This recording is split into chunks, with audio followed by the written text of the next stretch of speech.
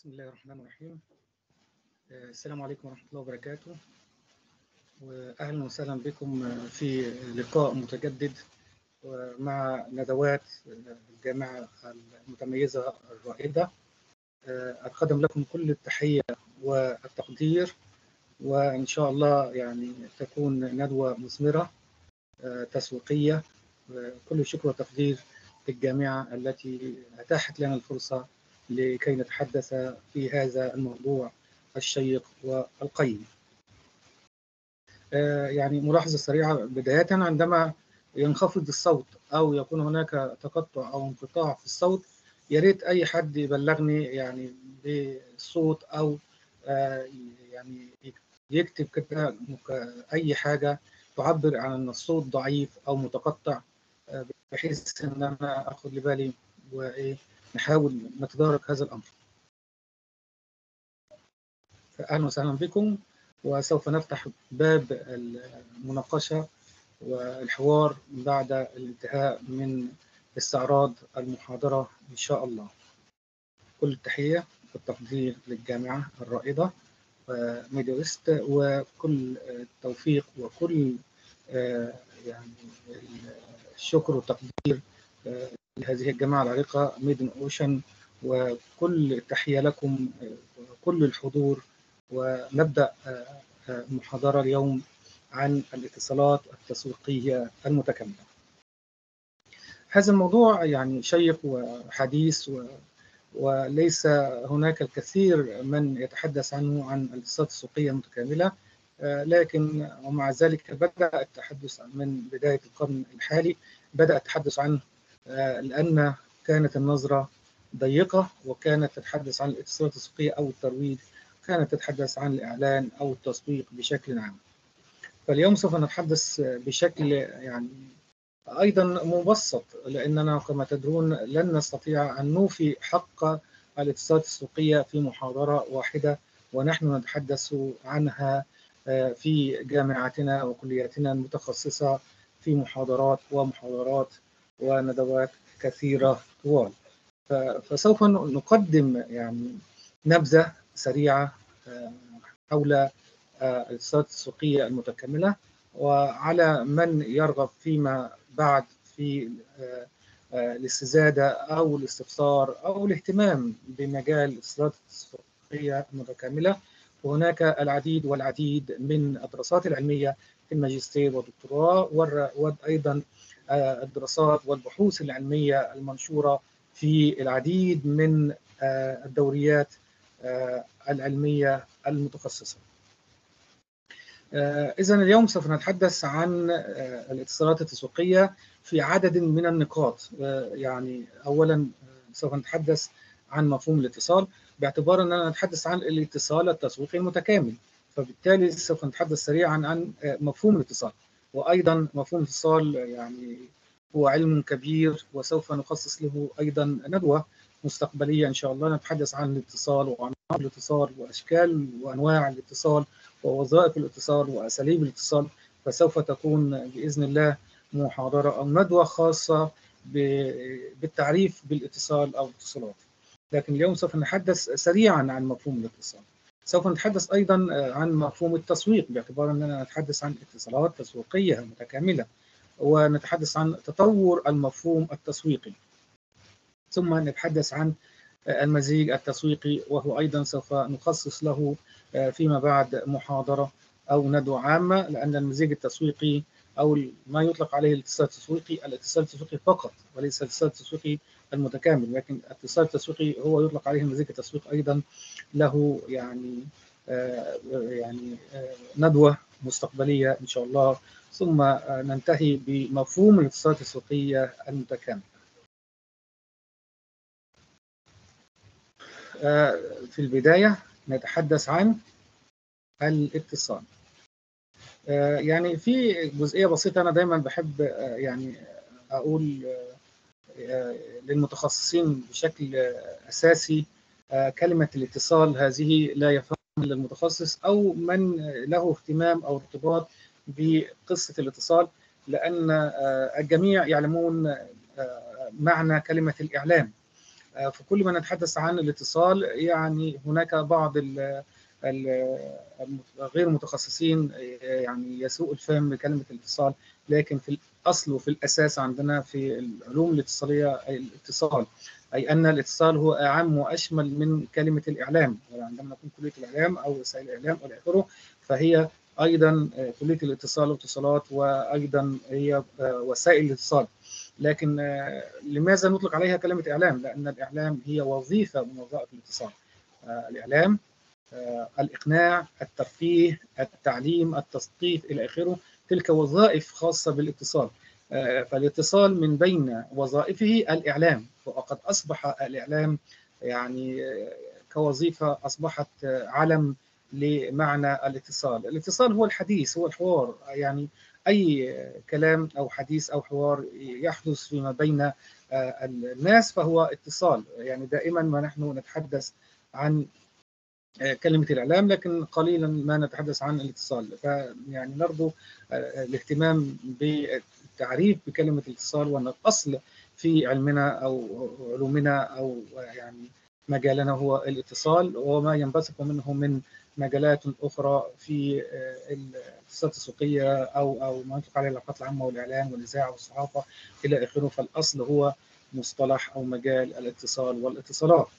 وبالتالي فإن كلمة الإعلام هي وظيفة من وظائف الاتصال كالإقناع والتسلية والترفيه والإعلان والتثقيف وإلى آخره من تلك الوظائف التي سوف نتحدث عنها عندما نخصص ندوة للاتصال إن شاء الله. وبالتالي فإن الاتصال هو أعم وأشمل كما قلت منذ قليل وأن الاتصال هو الأساس في علومنا وفي يعني مجالنا. الاتصال في حد ذاته هو ظاهرة إنسانية قديمة قدم العصور البشرية يعني قديم قدم الزمان. فالاتصال هو الأساس في الحياة ولا يستطيع الإنسان أن يعني يجلس ويعيش و ويتعايش في المجتمع بدون اتصال لأن الاتصال هو الأساس سواء كان هذا الاتصال على المستوى الذاتي أي داخل الإنسان في المفكر أو اتصال بين شخص وآخر أو أكثر من شخص والاتصال الشخصي أو على مستوى الجماعي أو التنظيمي إلى آخره من المستويات التي دائما نتحدث عنها في الاتصال. كلمة اتصال communicate أو communication تعود للأصل اللاتيني كومنس الذي يعني شائعا أو مفهوما أو مشتركا لفكرة أو حدث. أي, أي أنه يجعل تلك الفكرة أو هذا الحدث شائعا أو مفهوما وأن هناك فهما مشتركا بين الأفراد المستقبل والمتلقي. أيضا يمكن تعريف الاتصال على أنه هو العملية التي يتم فيها تكوين الرسالة. وتبادلها وتفسيرها ويستخدم الاتصال الإشارة لإدراك الأفراد وتفسيرهم واستجابتهم للإشارات التي يصدرها أفراد آخرون. آه كلنا نعلم أن الاتصال له عناصر أساسية آه يعني مثل الراسل أو المرسل أو القائم بالاتصال أو المصدر وأيضا المتلقي أو المستقبل وأيضا الرسالة آه وأيضا الوسيلة أو القناة. والفيدباك وأيضا الإقناع أو فيما نطلق عليه التأثير. لابد أن يكون هناك تأثير للعملية الاتصالية. وبالتالي فلابد أن تكون هناك عملية هي عملية اتصالية يقوم الراسل أو المرسل أو المصدر بتكوين أو تكويد رسالة يوصلها إلى متلقي الذي يقوم بتفسيرها وفهمها و الاستجابة إليها بأي طريقة أيا كان. كما أن الاتصال هو تفاعل بالرموز اللفظية وغير اللفظية وكلنا ندري اللفظية أي كلمات سواء منطوقة شفهية أو شفوية أو مكتوبة وغير لفظية التي نطلق عليها يعني لغة الجسد أو body أو body language أو non-verbal communication وهي أساسية في عملية الاتصال. إذا الاتصال هو تفاعل بالرموز اللفظية أو غير اللفظية بين طرفين. أحدهما هو المرسل والذي يبدأ الحوار والذي يقوم بتكويد الرسالة والثاني هو متلقي أو مستقبل يقوم بتلقي الرسالة ويكمل الحوار وما لم يكتمل الحوار من جانب المستقبل فلا يتحقق الاتصال فلا بد أن يكون هناك تجاوب وفهم من قبل المستقبل أو المتلقي. وحينئذ يقتصر الأمر على توجيه المعلومات والآراء من جانب واحد فقط دون معرفة بنوع الاستجابة أو التأثير الذي حدث عند المتلقي أو المستقبل. عندما نذكر أشكال أو مستويات الاتصال وطبعا يعني إن كان يعني هناك ندوة خاصة به فسوف نتحدث عن تلك العناصر. هي الاتصال الذاتي داخل الفرد أي الاتصال الذي يحدث بين الفرد وذاته هناك اتصال شخصي هناك اتصال داخل المجموعة الواحدة أو الجماعه الواحدة. هناك اتصال ما بين مجموعتين أو جماعتين يحدث بينهما تواصل أو اتصال هناك الاتصال التنظيمي أو المؤسسي أو ما يطلق عليه أيضا الاتصال الإداري كما أن هناك اتصال جماهيري ال mass communication وهناك اتصال ثقافي ويحتاج الأمر إلى يعني توضيح عندما نتحدث عن تلك الأشياء في ندوة خاصة بالإتصال.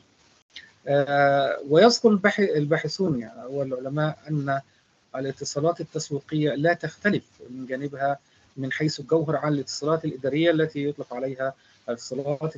الاتصالات التنظيمية أو المؤسسية أو الاتصال المؤسسي إلى آخره بل أن الاتصال التسويقي هو جزء من الاتصالات الإدارية رغم الخصوصية التي تتميز بها الاتصالات التسويقيه عن بقية أنظمة الاتصالات الأخرى التي تحدث داخل المنظمة.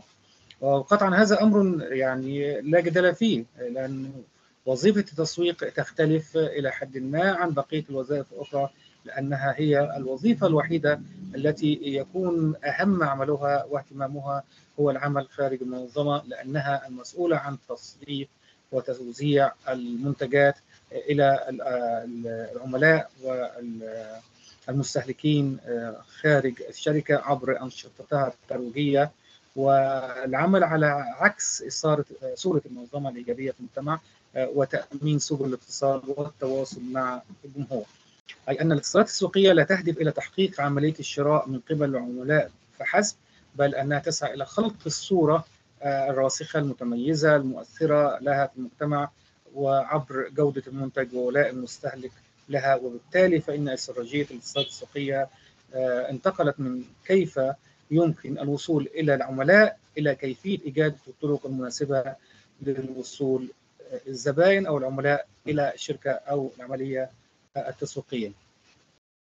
آه إذا آه أحب في هذه الجزئية أن أؤكد على دور العلاقات العامة آه باعتبارنا يعني مهتمين باللغة بالعلاقات العامة فإننا نؤكد أن دور العلاقات العامة هنا يعني كبير و وله دور يعني مؤثر. لأن العلاقات العامة هي التي تقوم بالتواصل بالعملاء والمستهلكين وبالتالي لا ننكر دور العلاقات العامة في هذا المجال. نستكمل أيضا بعد ذلك حول الاتصالات التسويقية ولكن نبدأ بمفهوم التسويق. التسويق كمفهوم يختلف ويتغير من من مدرسة بحثية لأخرى وهناك العديد والعديد الكثير من التعريفات الخاصة بالتسويق لأن تلك المفاهيم تتعدد بتتعدد الكتاب والباحثين الذين تناولوها وقدموا له يعني تعريفا خاصا بالتسويق.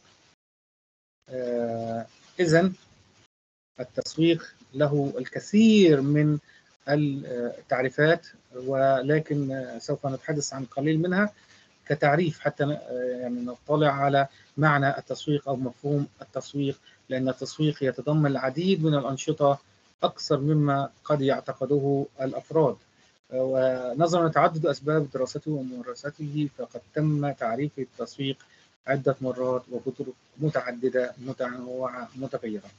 إذا التسويق هو ذلك العلم الذي فرض نفسه بقوة في الآونة الأخيرة وأصبح لا غنى عنه للشركات أو المؤسسات أو الأفراد الذين يمارسونه عملا يعني تجاريا ولديهم منتج يريد يريدون تسويقه وهذا المنتج قد يكون سلعة أو خدمة أو أيضا فكرة أو أيديولوجية فإن المنتج دائما نطلق عليه كلمة منتج على سلعة أو خدمة أو فكرة الفكرة التي يمكن أن تكون صورة ذهنية أو أو أو أيديولوجية. قدمت الجمعية الأمريكية للتسويق أيضا يعني تعريفا للتسويق يعد من أكثر التعريفات شمولا فقد قالت أن التسويق هو عملية تخطيط وتنفيذ مفهوم التسعير والترويج والتوزيع للأفكار والسلع والخدمات لإحداث التبادل الذي يشبع احتياجات أفراد المجتمع ويحقق للمنظمات أهدافها أو أهدافها. جدير بالذكر دائما عندما نتحدث عن التسويق يعني أرجو منكم أن تتذكروا دائما أن التسويق يعني كما سوف نوضح فيما يعني بعد قليل يتكون من أربع أشياء أساسية هي المنتج والتسعير أو السعر والتوزيع والترويج. وبالتالي فهذا التعريف عندما يتحدث فهو يتحدث عن التسويق بعناصره الأربعة حيث يقول أنها عملية تخطيط أي لابد هناك خطط أساسية لعملية التسويق خطط ويقوم بتنفيذ تلك الخطط فيما يختص بتسعير المنتج بوضع سعر أساسي والترويج له والتوزيع سواء كان المنتج كما قلنا سلعة أو خدمة أو أفكار حتى يتم إحداث التبادل فيما بين المنظمة أو الشركة والأفراد المستهلكين حتى يشبع يشبع احتياجات أفراد المجتمع وبالتالي يحقق المنظمة أهدافها ومنها الربح. ولكن هناك أيضا مجموعة من الشركات أو المنظمات التي لا تسعى إلى الربح.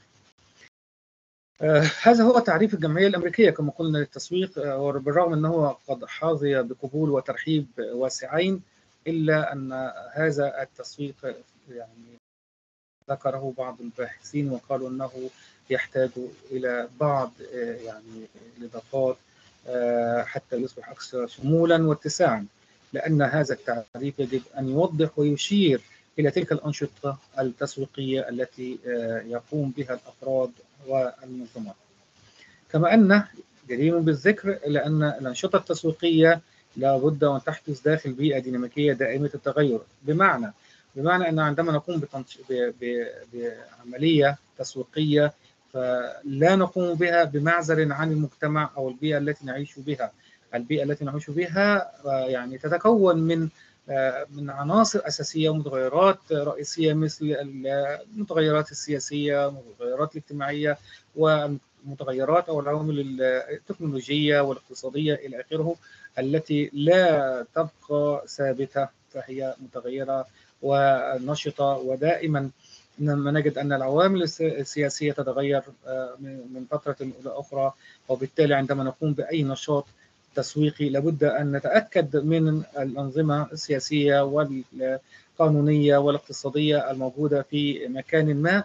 حتى لا نجد فيما يعني فيما بعد بعد أن نقوم بإنشاء منظمة أو شركة أن هناك اضطرابات سياسية أو هناك مشاكل اقتصادية أو نقص في التكنولوجيا ووسائل الإعلام إلى آخره. فإذا الأنشطة التسويقية هذه تحدث في بيئة متحركة متغيرة دائما.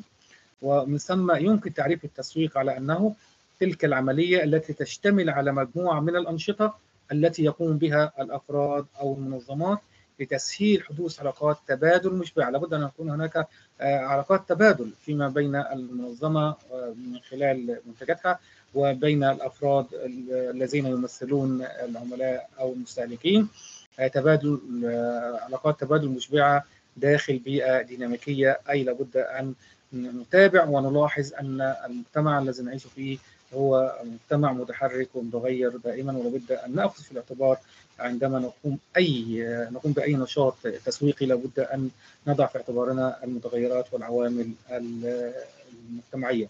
وذلك من خلال ابتكار وتوزيع وترويج وتسعير منتجات سواء كانت سلع أو خدمات أو أفكار معينة. هذه تعريف من تعريفات التسويق. كذلك أيضا هناك أكثر من تعريف للتسويق منها أن التسويق هو الإدارة المربحة للعلاقات مع المستهلك. وأنه من المنظور العام الواسع يمكن تعريفه أيضا بأنه عبارة عن عملية اجتماعية وإدارية يحصل عن طريقها الأفراد والجماعات على ما يحتاجون ويريدون وذلك من خلال خلق وتبادل المنافع والقيم بين الأفراد.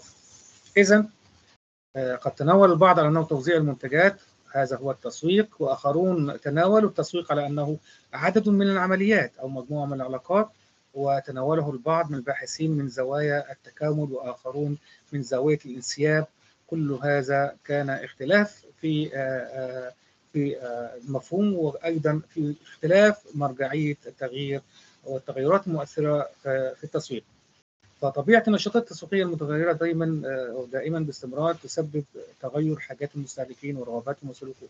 ماذا هذا يعني؟ يعني عندما نتحدث عن العملاء أو المستهلكين فإن أيضا حاجاتهم وميولهم ورغباتهم تتغير من وقت إلى اخر سواء بأسباب العمر أو السن عندما نكون أطفال تكون لدينا حاجات أو رغبات عندما يكبر الطفل تكون له حاجات أخرى أيضا عندما يكون هو في مكان غير مكان ربما يكون لديه حاجات ورغبات مختلفة وبالتالي فلا بد أن نضع في الاعتبار تلك المتغيرات كما قلنا مما يعني ينعكس على التسويق وبالتالي يصبح المفاهيم التسويقية أكثر شمولا واتساعا.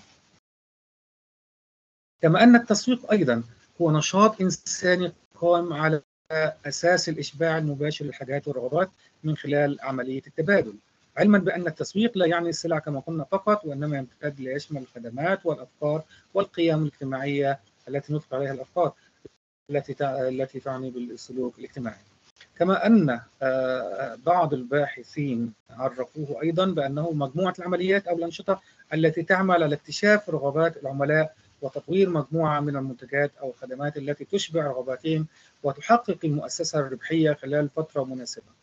وهو كذلك أيضا التسويق هو تلك الأنشطة التي تعني بتدفق أو انسياب السلع أي توزيع السلع أو الخدمات أو الأفكار من المنتج إلى المستهلك أو المستهلك.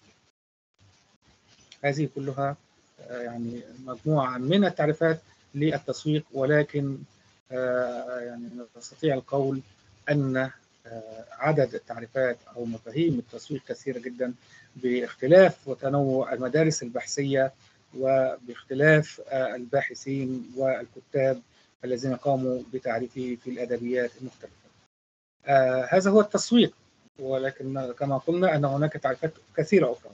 آه هذا التسويق أو المفهوم التسويقي أيضا من جانبه مر بمراحل كثيرة من التطور واختلف معنى التسويق أو مفهوم التسويق من مرحلة إلى أخرى. آه فقد اهتم في بداية أمره بالمنتج فقط دون الاهتمام بالعميل أو الزبون أو المستهلك ثم بدأ الاهتمام بالعميل على حساب المجتمع أو البيئة التي تعمل من خلالها المنظمة ثم بدأ الاهتمام بالمجتمع وبعدها بالعوامل الاستراتيجية والمتغيرات البيئية الموجودة في المجتمع. لأنه كان من الضروري إيجاد تكامل بين عناصر المزيج التسويقي مع التركيز على وظيفتي التوزيع والترويج كما قلنا من قبل فإن التسويق يهتم بأربع عناصر بأربعة عناصر أساسية هي المنتج ثم السعر أو التسعير ثم التوزيع وفي النهاية الترويج أو ما يطلق عليه الاتصال التسويقي أو الاتصالات التسويقية أو الأنشطة التسويقية وذلك لرفع وتعظيم حجم المبيعات. وبالتالي الربح بالإضافة للاهتمام بجودة المنتجات والخدمات وصولا إلى أهم مرحلة يعيشها العالم اليوم التي أضحت يعني ضرورة حتمية لدخول مؤسسات الأسواق العالمية والمحلية منها وهي تطبيق مرحلة أو مرحلة تطبيق التسويق الإلكتروني وذلك لمواكبة التطورات التكنولوجيه الحاصلة في المجتمعات. وكما ندري فهناك يعني تجارة إلكترونية كبيرة جدا وتحتاج إلى تسويق إلكتروني كبير. وعندما أتحدث عن كلمة التسويق الإلكتروني فهو يعني التسويق عبر الإنترنت. لأن التسويق الإلكتروني أعم وأشمل من كلمة التسويق عبر الإنترنت لأن التسويق الإلكتروني يشمل القنوات القنوات الفضائية والتلفزيونات والسيديهات والفلاشات رسائل ال SMS والرسائل المصورة وكذلك أيضا أي نوع من أنواع الذاكرة الصغيرة التي يمكن بثها أو إرسالها إلى الآخرين أو حملها وإعطائها للآخرين. فالتسويق الإلكتروني يشمل الكثير والكثير من الوسائل الإلكترونية التي يمكن أن يتم من خلالها التسويق. ومن ضمنها التسويق عبر الإنترنت وشبكات التواصل الاجتماعي على شبكة الإنترنت. وذلك لمواكبة التطورات التكنولوجية الموجودة و تسبق الزمن يوما بعد يوم.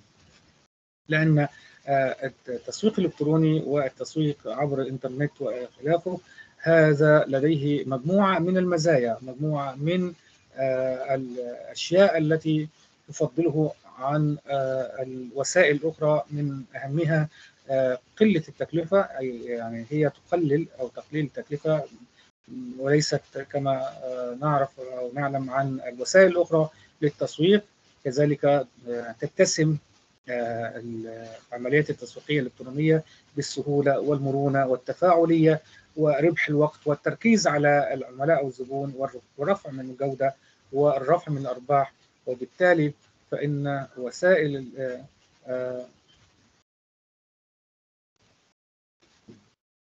هل الصوت في حاجة؟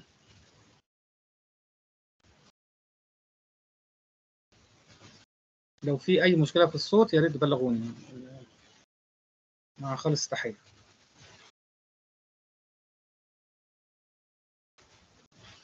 اذا نستكمل. وبالتالي مرة آه يعني المفهوم التسويقي وهذا يعني شيء مهم جدا. يعني لابد أن نهتم به ان المفهوم التسويقي هو مجموعة من التطورات التي حدثت على مدار السنين أو الأعوام. في البداية كان هناك مفهوم traditional أو مفهوم تقليدي لل marketing أو الكونسبت ده. كان أو المفهوم ده كان فعلا يعني تقليدي في بداية الأمر في فترة يعني في الفترة الأولية للتسويق. لأن هذا المفهوم التسويقي كان يركز على المنتج المنتج فقط. ركزت الشركات جهودها لإنتاج منتج أفضل. أي كان الاهتمام بشكل كبير بالمهندسين الذين يقومون بإنتاج المنتج. هناك معايير ولكن كانت هذه المعايير لا تتصل بالعملاء ولا المستهلكين ولكن كانت تتصل بالشركات فقط فهي التي تقوم بوضع المعايير والمقاييس وكل في هدف تحقيق الأرباح كانت لا يعني لا تحاول يعني في بداية الأمر أن أن تقنع المستهلك أو أن تقوم بجذب المستهلكين لأن كان هناك أمر أساسي ألا وهو موضوع العرض والطلب. كان العرض أقل من الطلب وبالتالي فإن المعروض من المنتجات كان قليل كان قليلا وبالتالي كان الطلب عليه كبيرا فكان كل ما يتم إنتاجه يتم شراؤه وبسرعة وبالتالي فإنه المنتج كان لا لا لا يجد وقتا حتى يمكث في السوق أو ينتظر حتى أحد يشتريه ولكن كان سريع لأن الطلب كان يفوق العرض وبالتالي فكان كلما ظهر المنتج يتم شراؤه بسرعة. وبالتالي كانت الشركات لا تهتم كثيرا برأي العميل أو الزبون ولكن كانت تهتم بالإنتاج. الأهم الإنتاج الإنتاج أهم شيء يحدث في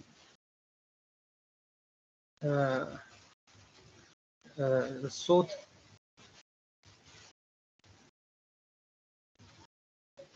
الصوت واطي.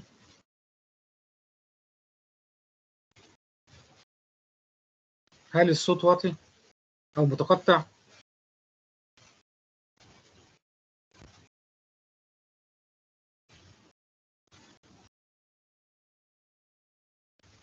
ماشي شكرا تمام. نستكمل. إذا في هذه المرحلة أو المفهوم الأساسي الأولي التقليدي للتسويق كان يتم الاهتمام بشكل أساسي على المنتج وعلى الإنتاج. كل ما كان يشغل الشركة أو المنظمة أو المشروع لأنه يطلق أيضا كلمة المشروع على المنظمة أو الشركة كان هو الإنتاج. كانت تحاول أن تنتج أكبر كمية ممكنة من السلع أو من المنتجات المطلوبة من قبل المستهلكين. كل شيء هو إنتاج لأن كل المنتجات التي يتم إنتاجها يتم شراؤها لكن ومع استمرار والتحدث أو التحديث والتطور التكنولوجي بدأ ما يطلق عليه الإنتاج الكبير الكبير أو mass production وبدأت الشركات تتعدد وتتنوع ويكثر عدد الشركات والمنظمات وبالتالي زاد العرض على الطلب. أي أن المنتجات المعروضة أصبحت أكثر من الطلب أي من عدد المستهلكين. وبالتالي بدأ هناك بعض الركود بدأ هناك بعض المنظمات تشتكي من أن الإنتاج لا يتم يعني شراؤه بشكل أساسي. وبدأوا يفكرون ويتساءلون ماذا بعد؟ أي ما هي المشكلة التي حدثت الآن؟ لماذا لا لماذا لا يتم شراء المنتجات؟ وبدأ يعني بدلا من التفكير في المهندس الذي يقوم بتخطيط وإنتاج المنتجات بدأ الاهتمام بالعميل لأنه هو الذي يقوم بالشراء. فإذا لابد أن نتعرف على العميل. في هذا المفهوم الحديث للتسويق بدأ الاهتمام ينتقل من المنتج إلى المستهلك أو العميل لأن العميل هو الذي يقوم بالشراء وبالتالي لابد أن نعرف عنه وكل ما يمكن معرفته من حاجات أو رغبات أو ميول أو تفضيلات. وبالتالي بدأ الاهتمام بالعميل وقالوا أن إذا التسويق يبدأ وينتهي بالعميل. يبدأ بالعميل أي يتم يعني عمل questionnaire ات أو عمل questionnaires اللي هي استمارات استقصاء أو استبيان وبدأوا يتعرفوا على آراء وتوجهات ووجهات نظر العميل في المنتج وكيفية تطويره وكيفية تحديثه إلى آخره من الأمور. وبالتالي بدأ الاهتمام ب بدأ الاهتمام بالعميل أكثر مما قبل. فبدأ ينتجون أشياء يهتم بها العميل ويقوم بشرائها وإحنا كنا نتحدث عن يبدأ وينتهي بالعميل. يبدأ بالعميل وينتهي بالعميل أي يبدأ التسويق من عملية يعني التفاهم والتواصل مع العميل وينتهي بالعميل حيث يقوم العميل بشراء المنتج. الخاص بالشركة أو المنظمه. وبالتالي أصبح هناك اهتمام كبير وتدليل للعميل. وأصبح التسويق يعني يهتم بعملية الشراء وما بعد الشراء خدمات ما بعد الشراء. ونقل ملكيه المنتج إلى العميل وتقديم خدمات الضمان والصيانة والاهتمام بالفيدباكس أو ردود الأفعال والمقترحات ورجع الصدى.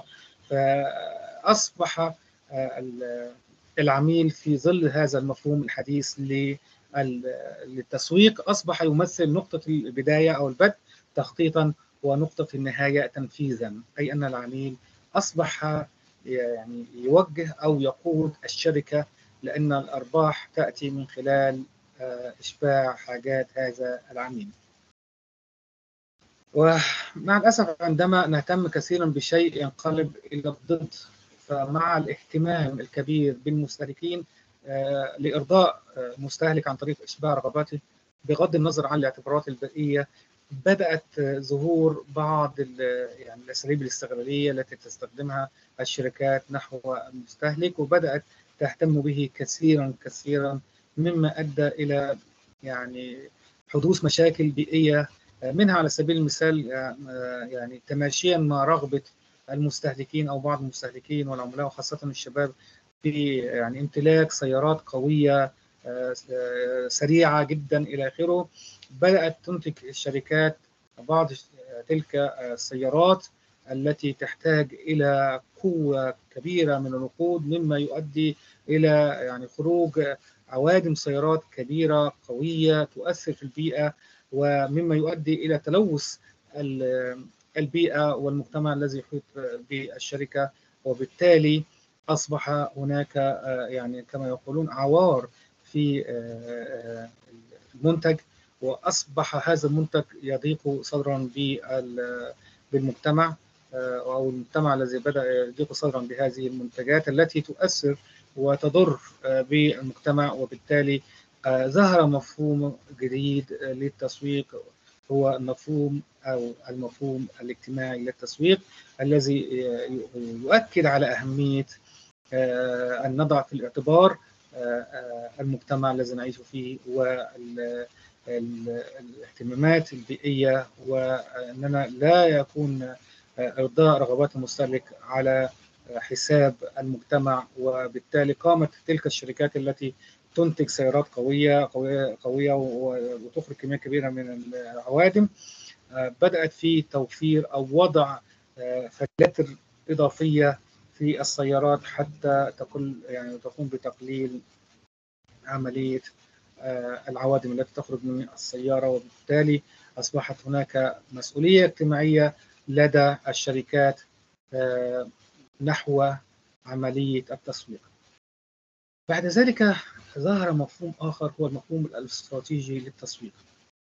عندما بدأ الاهتمام بالمنتج ثم بالمستهلك ثم بالبيئة أو المجتمع المحيط كان هناك أيضا نقص في عملية الربح أو هناك خلل في عملية التسويق مما أدى إلى ظهور مفهوم استراتيجي آخر للتسويق هو المفهوم الاستراتيجي للتسويق. هذا المفهوم الاستراتيجي للتسويق كان لا يركز على المنتج فقط ولا أقال أن يجب التركيز كما نركز على المنتج والمستهلك والبيئة الخارجية المنظمة. فلا بد أن نهتم ونركز ونتعرف على العوامل والمتغيرات التي يمكن أن تؤثر في المستهلك. في سياق يتضمن المعرفة بالمنافسين وسياسات الحكومة وقواعدها الظروف أو العوامل المتغيرات الاقتصادية والاجتماعية السياسية. القوى السياسية بمفهومها الشاملة كل ما يتعلق بالمستهلك من عوامل في الدولة أو في المجتمع من استراتيجيات توزيع معايير جودة مسؤولية اجتماعية السعر كل ما يمكن أن يؤثر في عملية إنتاج وتوزيع المنتج يجب أن نهتم به. إذا هذا المفهوم الاستراتيجي ركز على جميع المتغيرات التكنولوجية والسياسية والاجتماعية وكل ما يمكن أن يؤثر في عملية التسويق.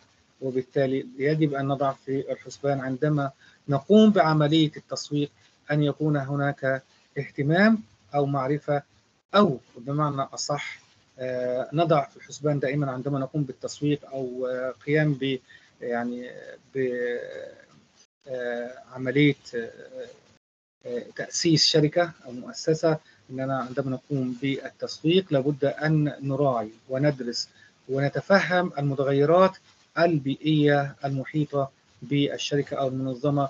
ودائما نضع في نصب أعيننا تلك العوامل التي يمكن أن تؤثر تأثيرا إيجابيا أو تأثيرا سلبيا على عملية التسويق الخاصة بالشركة التي قمت بتأسيسها. وبالتالي هناك أمثلة كثيرة يعني لا نود أن نتحدث عنها ولكن كان هناك بعض الشركات تقوم بعمل منتج هذا المنتج بعد قليل يظهر عامل تكنولوجي على سبيل المثال أحدث وأكثر تطورا وبالتالي يؤثر تأثيرا سلبيا على هذا المنتج لأنه أصبح قديما ولا يعني ولا يتماشى مع العصر. بعد ذلك نتحدث عن المزيج التسويقي. المزيج التسويقي. هناك مزيج ترويجي وهناك مزيج تسويقي.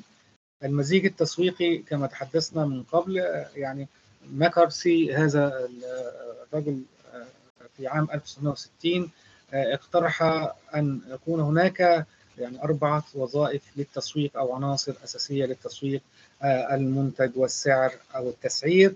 والتوزيع أو المكان والترويج. وهذا الرجل لقب بأبي التسويق في العالم وقد رمز إلى تلك العناصر الرئيسية الأربعة لوظيفة التسويق بكلمة four Ps لأنها تبدأ بالحرف ال P product price place promotion. وهنا promotion تعني الترويج. في سنة 1964 أطلق بوردن اسم المزيج التسويقي على تلك marketing mix على تلك الوظائف الرئيسية التي تم اقتراحها وبالتالي يعني تم إطلاق مصطلح المزيج التسويقي على تلك العناصر الأساسية المنتج السعر أو التسعير التوزيع والمكان والترويج.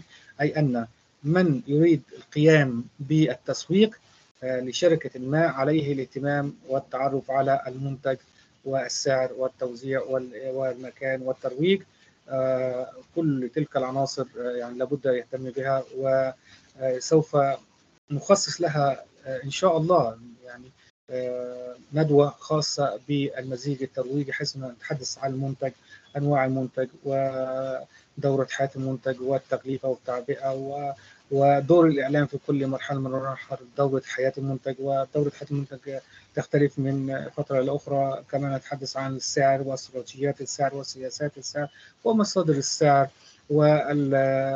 والمكونات أو العناصر الأساسية التي يجب وضعها في الحسبان عند عملية التسعير للمنتج. ثم نتحدث عن التوزيع سواء كان أكثر من من شكل يعني تاجر الجملة وتاجر التجزئه والعملاء وإلى آخره سوف نتحدث عن الترويج الذي يطلق عليه أيضا المزيج الترويجي أو الاتصالات التسويقيه وهو يشمل على العديد من العناصر الأخرى مثل العلاقات العامة والإعلان والبيع الشخصي وبرامج الرعاية وتنشيط المبيعات والتسويق المباشر إلى آخره. أي أذن أي أن لدينا نوعان من المزيج، المزيج التسويقي المنتج السعر التوزيع المكان الترويج ونخصص له في يوم من الأيام ندوة. نتحدث عن كل عنصر من تلك العناصر. وأيضا نخصص ندوة مستقبلية إن شاء الله عن المزيج الترويجي أو يطلق على المزيج الترويجي الاتصالات التسويقيه وهو يشمل العلاقات العامة والإعلان والبيع الشخصي وبرامج الرعاية وتنشيط المبيعات والتسويق المباشر. لأنها مجال رحب ويستحق التحدث فيه. اذا بعد ذلك نصل إلى مفهوم الاتصالات التسويقية المتكاملة. الاتصالات التسويقية المتكاملة. منذ قليل ذكرت كلمة الاتصالات التسويقية فقط، الاتصالات التسويقية فقط هي المزيج الترويجي. الترويج هو عنصر من عناصر المزيج التسويقي. الترويج هذا لديه مجموعة من العناصر. تلك العناصر نطلق عليها المزيج الترويجي التي سوف نتحدث عنها لاحقا في يوم من الأيام، لكن سوف نتحدث الآن عن الاتصالات التسويقية المتكاملة. كيف ظهرت تلك الاتصالات التسويقية المتكاملة؟ في بداية الأمر كانت المنظمات تضع الحواجز والحدود حول وظيفة التسويق والترويج المختلفة، وكانت تخطط لها ولكن مع الأسف الشديد كانت تخطط كممارسات منفصلة أي أنها تضع لكل عنصر من عناصر المزيج الترويجي تضع له أي ميزانية خاصة به ووجهات نظر خاصة به وأهداف مختلفة أي عندما نتحدث عن العلاقات العامة البيع الشخصي الإعلان البيع المباشر إلى آخره.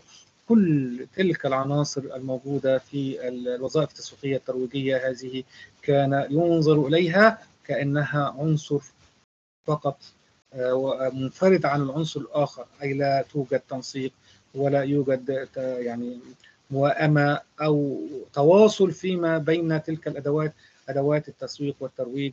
لم يكن يتم التواصل أو التفكير في المنتج والتسعيره والترويج والتوزيع إلى آخره ولا كان ولا لم يتم أيضا التفهم أو وضع في حسبان أن تلك العناصر الأساسية الترويجية كلها عنصر واحد وإنما كان يفكر في الإعلان أن الإعلان هذه هي كما يكون يعني رصاصة يمكن يعني تصل في ثواني إلى عقول المشاهدين فتغير اتجاهاتهم وسلوكياتهم نحو المنتج.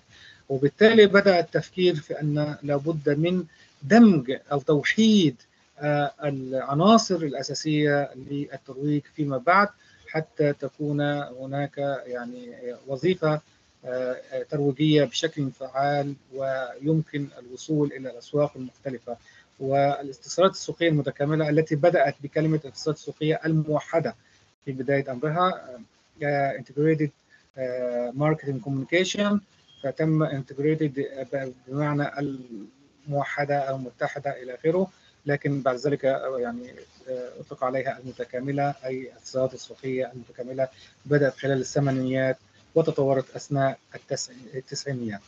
وكان سبب تطورها هو الحاجة إلى المزيد من التكامل الاستراتيجي للأدوات الترويجية كما قلنا الإعلان والعلاقات العامة والبيع الشخصي والترويج والأنشطة الترويج التنشيط الترويج كلها هي البيع الشخصي والمبيعات والتخفيض والبيع البيع الشخصي إلى آخره من تلك العناصر الخاصة بالترويج التي يمكن أيضا نضع عليها النشر وإن كان في بعض الباحثين والعلماء يضعون النشر في قائمة يعني آليات العلاقات العامة. النشر هو أن نقوم بالإعلان عن المنظمة أو الشركة بدون أن تتكلف الشركة مبالغ مالية ولكن نضع في الحسبان أن عندما نقوم بالنشر فإننا لا نتحكم في الرسالة الاتصالية التي يتم بثها إلى الجماهير، النشر هو أن يقوم أحد الصحفيين أو الإعلاميين بالتحدث عن المنظمه بشكل ما، يتحدث عنها بشكل جيد إيجابي إلى آخره، فهو يتحدث كأنه إعلان وليس بإعلان عن المنظمه دورها إنجازاتها أو العكس يتحدث عن مساوئها عيوبها إلى آخره، وبالتالي فنحن عندما نتحدث عن الإجابات فهو النشر بشكل أكبر وبالتالي فهو يشبه الإعلان ولكنه ليس بإعلان فهو يتحدث عن الشركة وسياساتها وإنجازاتها إلى آخره دون دفع يعني أموال ودون يعني الارتباط الكبير بالكلمات التي تأتي في الرسالة الاتصالية التي يقوم ببثها الصحفي أو نشرها الصحفي أو الإعلامي فهي تخرج بدون يعني كما يقولون رقابة فهي تخرج من الإعلامي ولا تتحكم فيها الشركة. اذا عندما بدأ النظر إلى الاتصالات التسويقية بدأ النظر إلى ما وراء وكالات الإعلان التقليدية وكانوا يهتمون بوكالات الإعلان والإعلان كمكون أساسي للتسويق والترويج ولكن بدأ الاهتمام بالعناصر الأخرى التي تخص الاتصالات التسويقية فقط أو الأنشطة الترويجية وبالتالي يعني في هناك أيضا ترويج المبيعات ترويج أو تنشيط المبيعات أيضا من داخل الأدوات الترويجية. اذا بداوا الاهتمام أن يكون هناك تآزر واتحاد بين الأدوات الترويجية التي من بينها كما قلنا من قبل العلاقات العامة والإعلان وترويج المبيعات والتسويق المباشر والبيع المباشر إلى آخره.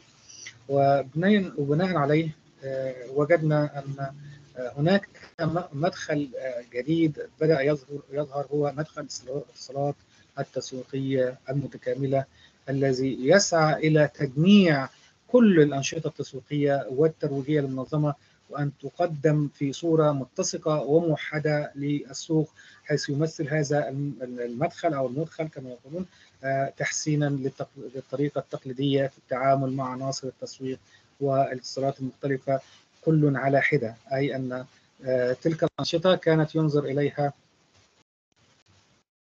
كان ينظر إليها كعناصر متفردة منفصله لكن بدأ مع مدخل أو منظومة الاتصالات التسويقيه بدأ النظر إليها إنها أنشطة متحدة موحدة متسقة ومتكاملة فقد أصبحت كلها يعني لا تعمل في معزل عن بعضها البعض. كما أدى هذا المدخل إلى تحول كبير من منظور مجزأ للوظائف المنفصل الاتصال التسويقي والترويجي حيث يخطط للعناصر وتدار بشكل منفصل بميزانيات مختلفة وبخطط مختلفة واستراتيجيات تسويقية مختلفة إلى نظرة شمولية واسعة للتسويق. وبالتالي يؤكد هذا المدخل على ضرورة تقديم مجموعة متوازنة من الاتصال عوضا عن المفهوم التقليدي السابق والذي قدم اتصالات بشكل متناثر وغير متسق إذا اهتم هذا المدخل بإحداث التكامل والتوحد والاتحاد فيما بين وتناغم بين عناصر الاتصال التسويقي المختلفة بشكل أساسي. فقد كان الاتصال التسويقي يستخدم للعديد من السنوات كإشارة للوظائف الاقتصادية المتنوعة لكن مع بداية الاتصالات التسويقية المتكاملة بدأ الاهتمام بكل عناصر التسويق وبالتالي يمكن أن نقول أن أن الاستراتيجية الاتصالية تستخدم داخل ذلك المدخل أو تستخدم جميع أدوات الاتصال والقنوات المختلفه كما قلنا من قبل سواء كانت تعتمد على الاتصال الشخصي التفاعلي الجماهيري كل لإعطاء قيمة إضافية للأنشطة والجهود التسويقية وزيادة فعاليتها وتأثيرها على جمهور المستهلك. جدير بالذكر أن الاتصالات التسويقية الموحدة كما ذكرنا من قبل وتم اطلاقها في يعني في بداية القرن إنها الاتصالات التسويقيه الموحده وتم يعني تغييرها فيما بعد إلى الاتصالات التسويقيه المتكاملة كما نقرأها الآن ونتحدث عنها. فهو مفهوم حديث ظهر بشكل بسيط وليس بشكل دقيق في الستينيات ولكنه يعني كما قلنا ظهر أكثر في الثمانينات والتسعينات فيما بعد هو ظهر في القرن الماضي ليحل محل الأدوات الترويجية التقليديه الإعلان العلاقات العامه تنشيط تنشيط المبيعات أو ترويج المبيعات وقد أصبح هذا المفهوم هو النموذج السائد في الدراسات والمقررات الإعلانية الحديثة في العالم وأصبح هو بذاته مقررات وأقسام تسمى بتلك المسميات الاتصالات التسويقية المتكاملة. وبالتالي ظهر مصطلح الاتصالات التسويقيه المتكامله IMC Integrated Marketing Communication في بداية الأمر كما قلنا على أنه مفهوم بسيط يختص بتنسيق وتنظيم الرسائل للعملاء وكذلك الحوافز التي يقدمها للمستهلكين الحاليين والمحتملين والواقعين.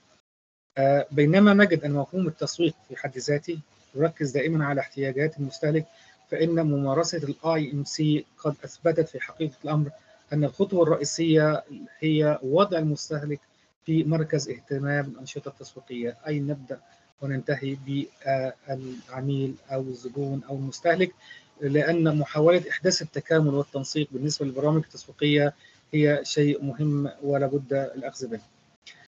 اذا الاتصالات التسويقية يتم التأكيد دائما فيها على أهمية أن تأخذ الاتصالات الخارجية شكلا موحدا أي بمعنى إيه؟ بمعنى إيه الخارجيه؟ اي الاتصالات التي تحدث من خلال الإعلان، العلاقات العامة، البيع الشخصي، الأنشطة الترويجية كلها كلها تبدأ بإيه؟ بنفس الشعار، بنفس الجملة، بنفس الفكرة، بنفس الأهداف، أي أن كل الاتصالات الخارجية تأخذ شكلا موحدا وتتحدث بصوت واحد one sound one sight كأحد أهداف ال IMC أو integrated market communication أو الاتصالات التسويقيه المتكاملة فيجب أن يتم التأكيد على أهمية إحداث التكامل داخل المنظمة أيضا بالإضافة للتكامل بين أدوات الأنشطة الترويجية أو الترويج أو الاتصال التسويقي وبالتالي أيضا يجب إحداث تكامل داخل المنظمة أي أن يكون كل جهود الموجودة في الشركة أيضا يعني تعمل معا وصوت واحد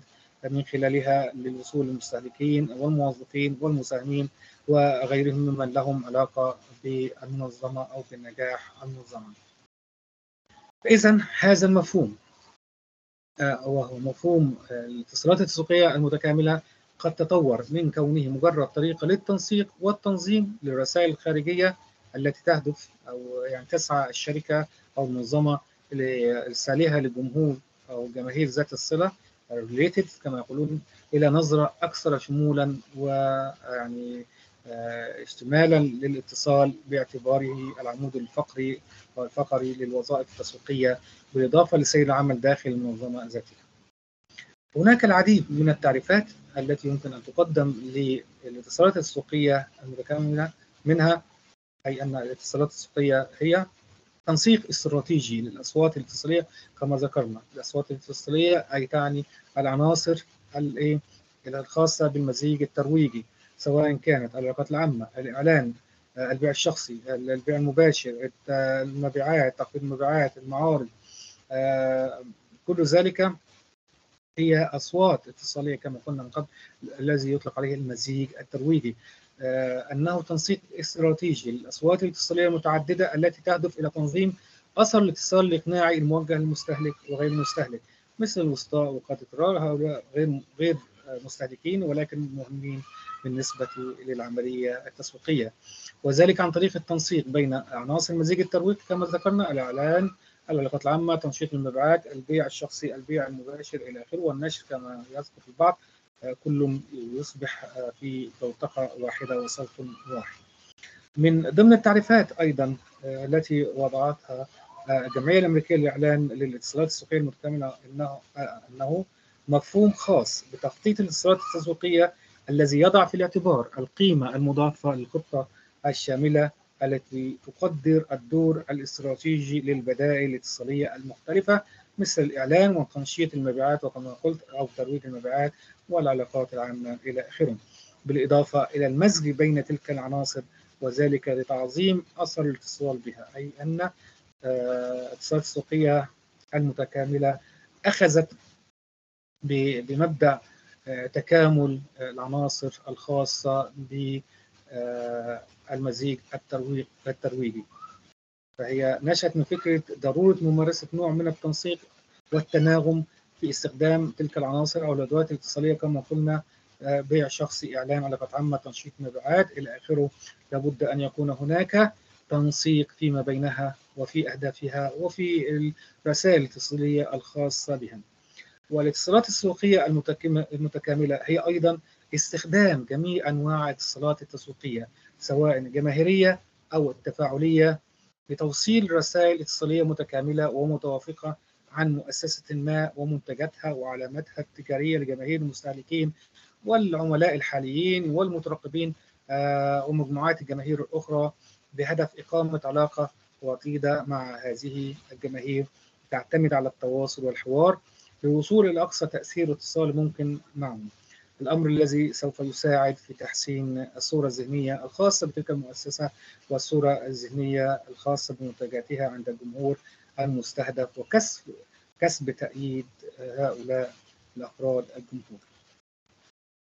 أيضا الاتصالات التسويقية المتكاملة هي التنسيق بين النشاط الترويجي وبقية الجهود التسويقية الأخرى لتعظيم قيمة المعلومات المقدمة والمؤثرة في المستهلك.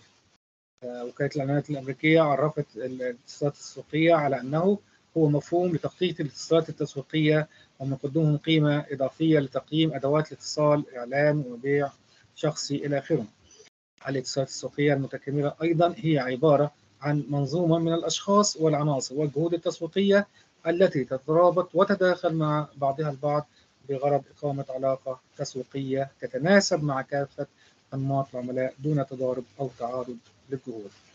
كما عرفت الاتصالات التسويقية المتكاملة بأنها التأثير والاستجابة إلى حاجات الزبون وتحقيق التوافق والانسجام بين عمليات الاتصال التسويقي وتصميم البرامج وإعداد الخطط بشكل يصل إلى تعظيم إدراكات العملاء نحو سلع الشركة وخدماتها. كما تم تعريف الاتصالات التسويقية أيضا المتكاملة بأنها التنسيق بين وظيفة الترويج الترويج وبقية الجهود والأنشطة التسويقية الأخرى لتعظيم قيمة المعلومات المؤثرة في الزبون وهذا التعريف يؤكد على حقيقة جوهرية هي أن الاتصالات التسويقية أو الأنشطة الترويجية هي في جوهرها عملية ترويج. وعرفت أيضا الاتصالات التسويقية المتكاملة بأنها عمليات الاتصال الناتجة عن تخطيط وتنسيق وتكامل وتنفيذ عناصر ومكونات الاتصالات التسويقية وكما قلنا الإعلام والبيع الشخصي والعلاقات العامة وغيرها والتي تصل إلى نتيجة خلق تأثير مباشر للعلامة التجارية على العميل أو المستهلك وكل هذه الأدوات تقدم رسائل واضحة ومنسقة ومتكاملة نحو تعظيم الاتصالات. أيضا الاتصالات التسويقية المتكاملة هي عمليات الاتصال الناتجة عن التخطيط والتكامل والتنفيذ لعناصر الاتصالات التسويقية المختلفة الإعلان وترويج المبيعات والعلاقات العامة والتي تقود على مدار الوقت إلى خلق تأثير العلامة على المستهلك الحالي أو محتمل. وهي أيضا عملية التحليل الاستراتيجي والاختيار والتنفيذ والرقابة على كافة العناصر المكونة للاتصالات التسويقية بشكل فاعل وكفء واقتصادي للتأثير في نقل المعلومات ما بين المنظمة والمستهلك الحالي والمحتمل خارج المنظمة. ويمكن القول أيضا أن الاتصالات التسويقية المتكاملة كذلك هي عبارة عن تنسيق الجهود التي تتم عبر وسائل الاتصال المختلفة مع الجمهور من جانب وعملية تخطيط مبرمج للتفاعل مع هذه الجماهير ضمن استراتيجية تسويقية فاعلة وكفءة من جانب آخر وذلك عبر بناء قاعدة بيانات وصياغة استراتيجيات اتصال وتقييم النتائج المتحققة. وبالتالي فإن مفهوم ال IMC يمدنا أو يوفر لنا نظام متكامل للتخطيط والمتابعة بالنسبة للأنشطة الخاصة ببناء الماركة ال brand العلامة التجارية. وهذا النظام يؤكد أن الماركة أو العلامة التجارية تتحدث بصوت واحد ولها مظهر واحد كما قلنا أن كل الإعلانات والدعاية وكل ما نتحدث عن الأنشطة الترويجية هي مزيج واحد صوت واحد مظهر واحد. كما أنه يتيح فرصة لإدارة والتحكم في الرسالة الاتصالية التي يتم إرسالها للجمهور المستهدف. ومساعدة المشترين على التحرك عبر المراحل المختلفة للعملية الشرائية. وتكمن الميزة الأساسية للاتصالات السوقية المتكاملة في أن المجموعة المتسقة من الرسائل التي يتم إرسالها إلى الجماهير المستهدفة عن طريق وسائل مختلفة التي تتضمن كل أشكال وقنوات الاتصال المتاحة أفضل بكثير من الرسائل التي لا يوجد بينها رابط آه وكما قلنا من قبل أي آه العلاقات العامة على جانب والإعلانات بجانب والبيع الشخصي بجانب. فهذا قد يمتد لنجد تعارضا فيما بينها فمن المفترض أن تصبح الاتصالات أكثر فعالية وكفاءة كنتيجة لتأثير التناغم والترابط بين الأدوات والرسائل. إذا والواضح من الفكرة الرئيسية وجوهر التعريفات المتعددة للاتصالات السوقية المتكاملة الفكرة واحد. وجوهر التعريفات المتعددة واحد وهو أن تلك الأدوات الاتصالية التي كان يتم التعامل معها بشكل تقليدي كان يتم استخدامها بشكل مستقل ومنفصل ومتجزئ عن بعضها البعض ثم الجمع بينها بشكل يسمح بالحصول على التأثير المتناغم بحيث تصبح الاتصالات الناتجة بمثابة عمل أو جهد مترابط وموحد. إذا هذا هو المعنى الأصلي أو الأصيل للاتصالات التسويقية المتكاملة أي التكامل فيما بين عناصر الاتصالات التسويقية أو ما يطلق عليها نشاط أو الأنشطة الترويجية أو مزيج الترويجي. هذا ما يمكن أن نتحدث عنه وتحدثنا عنه بالفعل فلو كان هناك أي استفسار فأهلا وسهلا بكم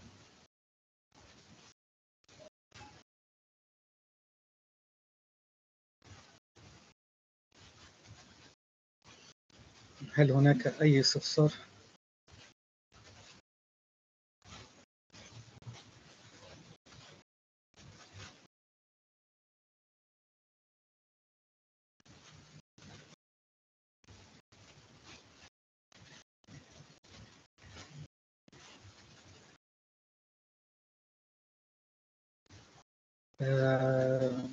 شكرا لحضراتكم طبعا.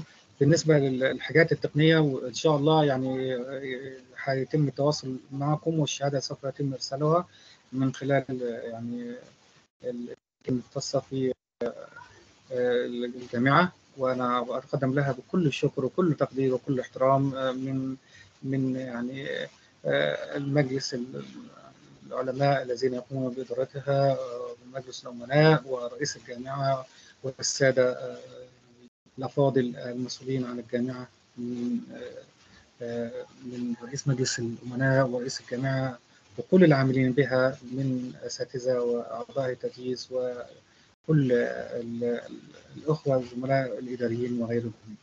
كما أتقدم لكم بكل شكر وكل احترام وتقدير لتكبد العناء وحضور تلك الندوة وكلمات الطيبة التي تتحدثون بها يعني أشكركم وكل تحية والتقدير لكم وعلى لقاء دائما إن شاء الله في ندوات أخرى ولا تقلقوا لو بالنسبة للشهادات هناك يعني إدارة تنظيمية مختصة بالأشياء التقنية والتي تقوم بكل واجبها بكل حرفيه وكل دقة وسوف تقوم إن شاء الله بإرسال يعني الشهادات الخاصة بكم على أن نلتقي بكم مرة أخرى إن شاء الله في ندوة قادمة وأسعدكم الله وأسعد أوقاتكم وشكرا جزيلا لكم ونلتقي في يعني مناسبات أخرى قادمة إن شاء الله.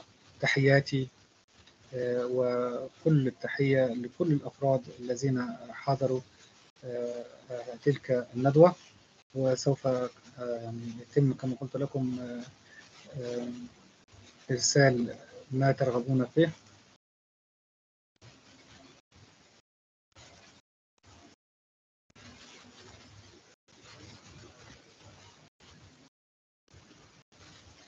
هناك لينكات يعني رابط يتم إرساله إليكم.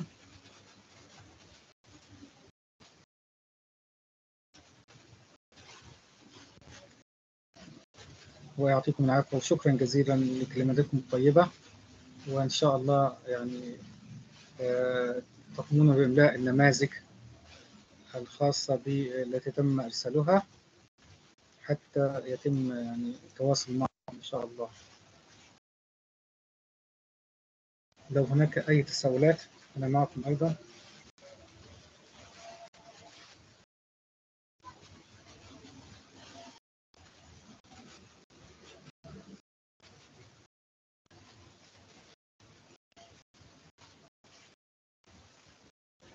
شكرا جزيلا لكم شكرا لكم. ووفقكم الله.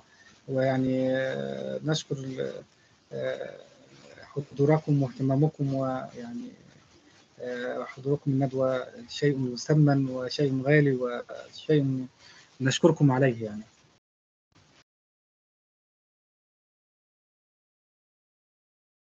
كل التحية والتقدير والسلام عليكم ورحمة الله وبركاته.